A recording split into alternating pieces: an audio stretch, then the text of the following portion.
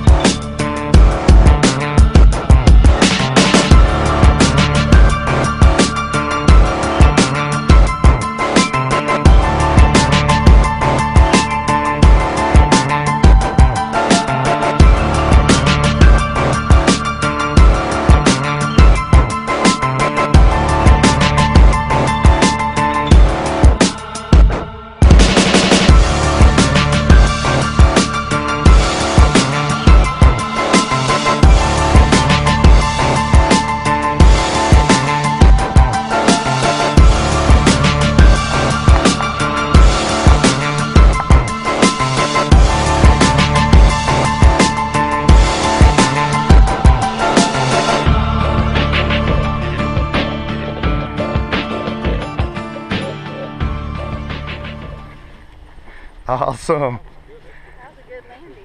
How'd you like it? That was awesome. Would you do it again? Yes. Good job. Good job, Dave.